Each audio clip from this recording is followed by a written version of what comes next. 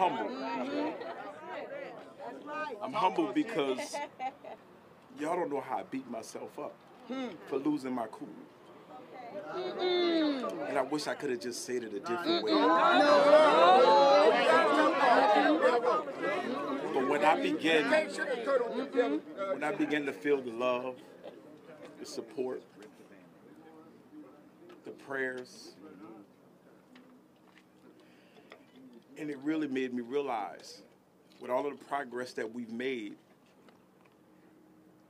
how much more work we have to do. Mm, mm, when the pastor talked about those who've heard me speak in the past mm-hmm.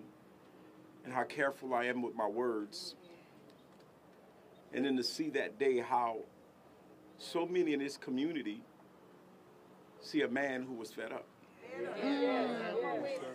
A man who was hurt, who was suffering through some trauma. And no matter what I said, and let me be clear, everything I said was facts. Okay. There's still some who only see an angry black man. Talk about that, Chief. Talk about that. Talk about that. I don't apologize for my passion. But what I ask those individuals who are behind those efforts, and you know who you are, we don't need to name drop today.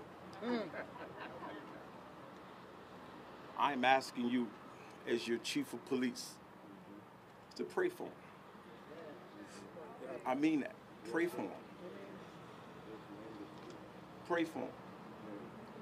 And I'm also asking you to pray for our black boys in this community and our black men. Mm-hmm.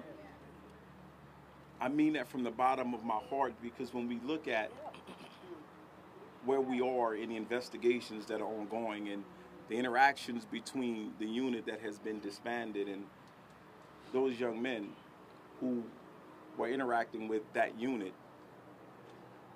I received a call from a community member who said that some of those in the community who are involved in crime may see that as an opening to commit further violence in our city, but I don't believe that.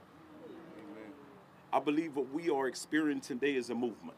Mm-hmm. A movement that is bigger than every single person here, but mm. collectively as a community is going to move this city forward like we've never seen before. Mm.